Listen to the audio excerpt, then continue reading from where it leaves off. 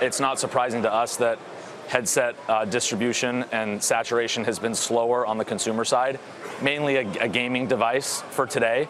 Uh, but we certainly feel that when more employees throughout America and really the world start to touch these things, literally and metaphorically, every day in their jobs, it's going to trickle down to the consumer, uh, much like we saw with computers, you know, a couple decades ago. All right, so let me see this. 4,700 stores, and there are, um, my goodness, 17,000 of these units. Yep. What sort of results are you able to show that gets Walmart to make that kind of investment? And, Yeah. and are there certain types of work where this improves performance better than others? So last year or two years ago when we started working with Walmart, we were really focused on operations, process, procedures for store managers. There's a, a, spill in aisle six. Uh, where is there an outage of bananas in, in the produce department, right? Um, interacting with customers, things like that. And that worked really well in the Walmart academies where they train uh, their employees, you know, from store manager, assistant manager, all the way down. And now, here we are, you know, less than two years later, and Walmart said, hey, this was so successful in the academies, and all 200 of them, that we want to put this in every store. And now, how can we touch cashiers? How can we touch janitors? How can we touch some of those mid-level managers?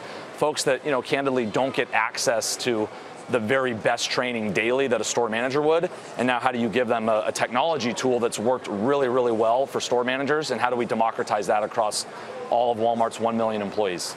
Yeah, you know, one of the steadfast criticisms of, of, VR, at least to date, has been the fact that when you put one of these headsets on, maybe not this one specifically, when you yep. put one of these VR headsets on and you start going through yep. whatever it is that your you know, application, yep. exactly, which I, cer- I certainly have experienced. Yep.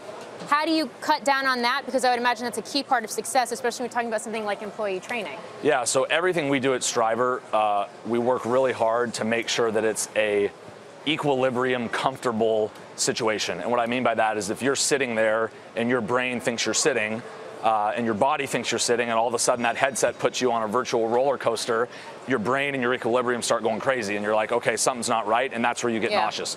So with Walmart specifically and all of our customers, we work really hard to make sure we're putting you in pretty much a static decision-making moment. Uh, we're not moving the camera. We're not running you down an aisle. Uh, we're making it very, very comfortable for the employee, and, and, that's really important. Like you guys said, I mean, John, like you said, this has to work at the employee level for it to likely trickle down as Christmas presents for folks this fall, and, and we work hard for that. So does that mean that you think maybe long-term it works better as an enterprise product than a gaming product? It, it may. I don't think as a gaming product. I think gaming is always going to be really, really good. Um, as a more massive consumer product, you own one, right? Someone yep. like yourself to yep. have it and use it daily. Um, I, I, think the enterprise is going to outpace the consumer. Uh, but that's today. I mean, I think we're going to see a really, really cool trickle down effect. Um, Oculus knows that. They've been a phenomenal partner. Walmart certainly on the leading edge. And you know, you could argue that they're more important than anybody to, to VR succeeding. Uh, and that, that's pretty cool.